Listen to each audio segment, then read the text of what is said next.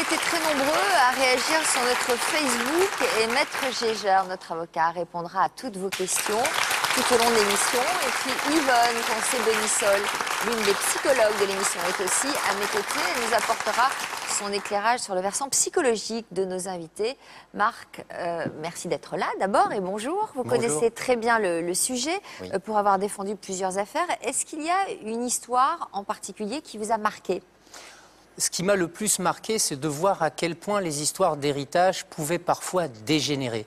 On a l'impression que ce ne sont que des problèmes d'argent et en fait, euh, l'argent, c'est la partie immergée de l'iceberg, vé- véritablement. Derrière les problèmes d'argent, il y a aussi des problèmes d'affectifs qui se jouent, il y a des problèmes de préférence qui se jouent, il y a bien d'autres choses qui se jouent dans ces cas-là.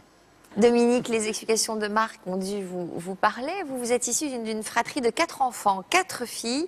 Dans quel contexte familial avez-vous grandi? Nous, euh, euh, j'avais de- ma sœur et moi, euh, les filles de Jacqueline, euh, qui euh, s'est suicidée quand j'avais 6 ans et ma sœur 2 ans et demi. Mon père s'est remarié et a eu euh, deux, deux autres filles avec sa... Donc Jacqueline, c'est votre mère Jacqueline, c'est ma mère, D'accord. avec sa deuxième femme, euh, Raymonde, qui a été une belle-mère exceptionnelle.